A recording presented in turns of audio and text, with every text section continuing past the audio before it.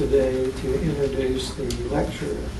The lecturer hails from Scotland primarily, worked in a lot of other places. His name is Stewart Robinson. I've known him, gosh, he used to come over here with a couple other people that I worked with quite a bit. and I've known him, I guess, twenty some odd years. I've Only seen him two or three times in that twenty some odd years. I think I blame him for all the bad luck that's befallen me, because I was supposed to pick him up at the airport on a certain day, and they called me up, it's the day before, not the same day, so his schedule getting changed kind of started my bad luck rolling. Him in from Scotland looking along with the cold weather. But in all, uh, in all seriousness, uh, Stewart uh, has been a server of spirit since 1971 when he, uh, in Edinburgh, Scotland. He started a number of churches. He's president of the Universal Spiritualist Organization now. He travels all around the UK and Europe, and uh, and has been in Cassadaga for the last week doing uh, workshops, serving spirit and helping people. He's also a reflexologist and a healer. Uh, Stewart will be available for consultations after the service if anyone's interested, but let's see what he has to say now. Welcome, Stewart Robinson.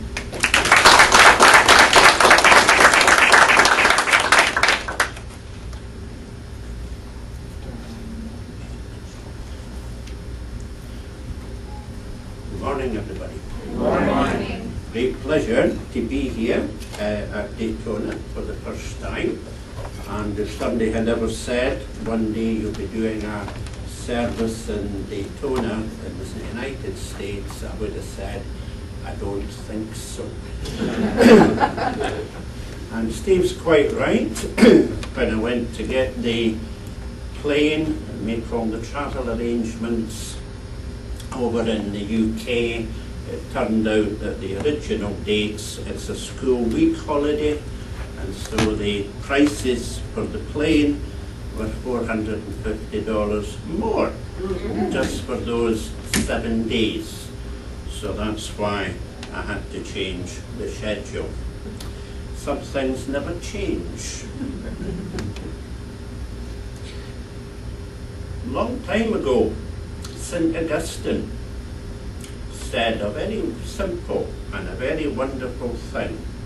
And what he said was, faith is believing in something that you cannot see.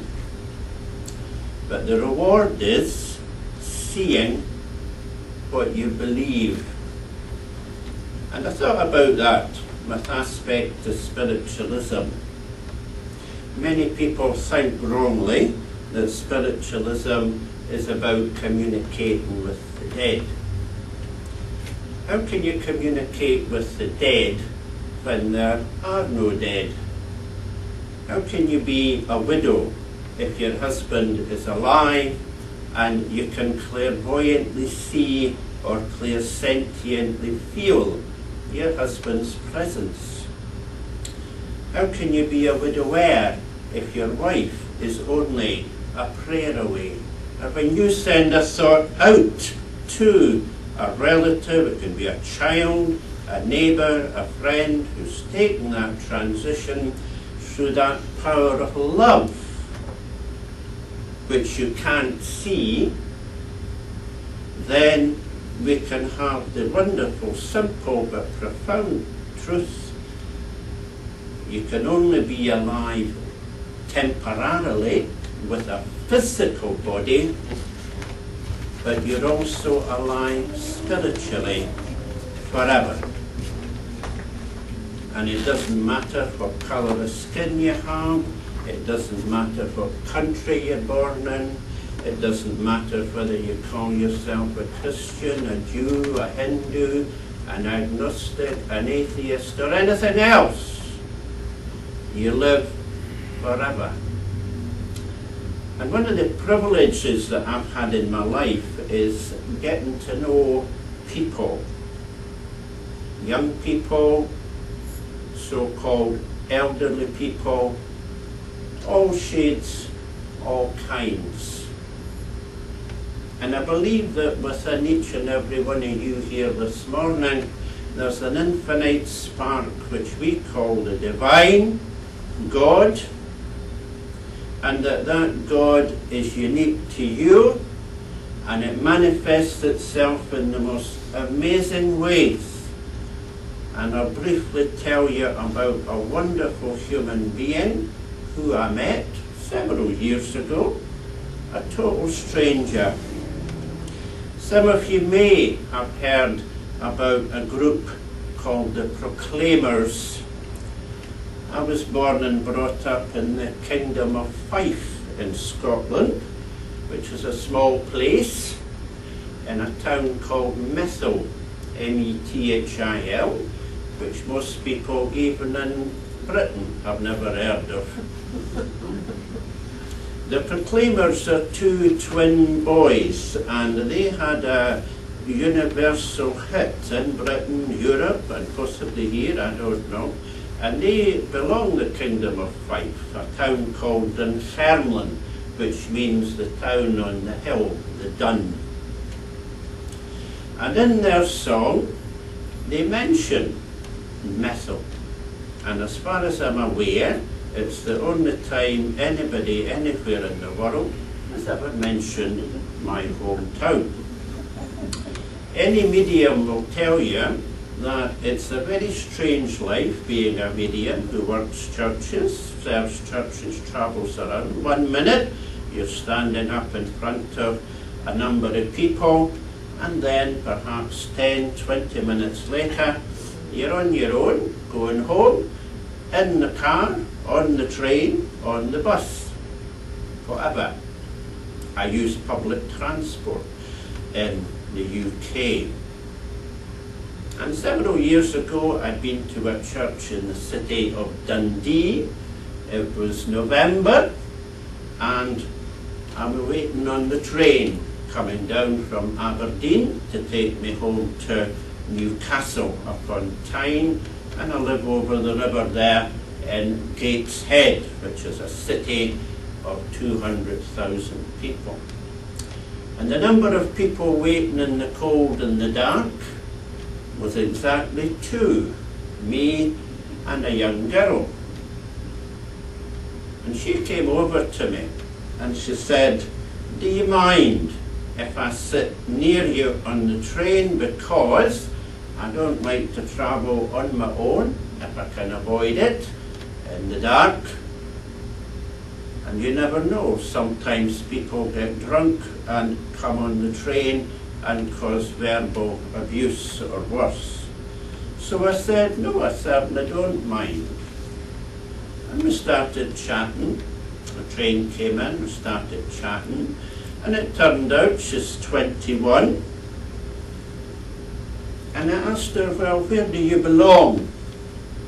And she said, well, I was born and brought up and I still live in a town that you've probably never heard of called Methil. and I said, well, isn't that strange? And it turns out that she lives two streets away from where my parents used to live for 30 odd years. Thing was, she wasn't just a young woman, she was an athlete.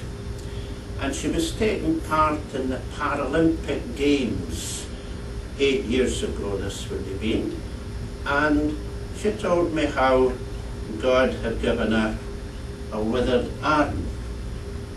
She was born with her right arm, which was only about a foot long, 12 inches long. And she said, well, I could go around my life and moaning and complaining and feeling sorry for myself because I've only got a withered arm. But I'm going to make my left arm as strong as I can and I'm going to learn how to throw the javelin. And she practiced that, and the reason she was up in Dundee was because she was there in college, getting on with her education. And she's number three in the British Paralympic team. And she said, well, I've been to Canada, I've been to New Zealand, I've been to South Africa, I've been all over the world with my one good arm throwing the javelin. And she was going to be taking part in the Paralympics, not the ones just gone, the ones before. And so I said, well, I'll promise to watch you. And she said, because I want to get to number one. And that Paralympic programme came on one morning at 4 a.m. But I did make a conscious effort to get up and I watched it. And she didn't get number one, she got number two. On the way on the train home, I said, How are you getting home? Because there's no railway in Methil. It used to be until an idiot back in the 1960s decided to shut hundreds and hundreds of rail stations all over the UK and now you can't get around like you used to. That's called progress. so she said, I get off at a place called Cupar and I drive myself home. And I said, pardon me asking, but how do you drive yourself home? You've only got one arm. She said, it's easy. I drive myself using my knees. Because I've got a very special adapted car. And I thought, I'm not going to let a stupid thing like one arm stop me from driving. So she's learned how to drive herself to the station and home again at night using her knees and she's got a boyfriend. And apparently he's six foot tall, he's got a good job, and he loves her. And he said to her, I couldn't care if you only had no arms, never mind one. I like you, the person. I like you, the spirit. I don't see you as a so-called cripple or a disabled person or a lesser human being. I see you as a manifestation of God's love, who's got more courage in one left arm than millions of so-called normal people with two arms have. And before she left and got off the train, I said, I'll probably never see you again in my life. It's very unlikely. But I said, thanks for spending 20, 25 minutes with me on the train. And nowadays, When I was watching a bit of the Paralympics there a couple of months ago, I thought about her. And what I thought was, isn't God wonderful? God can uh, create us as an individual, and it's up to you and me what we make out of life. We can go through life moaning that we don't have this and we don't have that. I would like this and I would like that. But why don't we think about with love what God has given us and be glad for that? I would like to have perfect vision, but I have to use glass in front of my eyes. I would like to be able to walk for miles like I used to without having to use a stick to hang on to. I would like to think I can go through life without plastic in my mouth or mechanical things in my heart or whatever it might be, but we aren't meant to be here for very long. If you live to be a hundred, you're a child of the universe. There's people been spirit for three million years. Human life goes back on this planet three million years. We found Viking remains in California who were here hundreds of years before Christopher Columbus, who was never called Christopher Columbus. His name is Cristobal Colon. We anglicized it years ago. Cristobal Colon in 1492 found the West Indies. And I'll just say to you finally, the words of St. Augustine. Faith is believing in something you cannot see. I've got no doubt at all that the spirit world is real, although I can't see it with these eyes. I've got no doubt at all that love is real, which many of you will have experienced. So the reward is knowing and seeing that which other people cannot see. And thank you for listening this morning and may God bless you.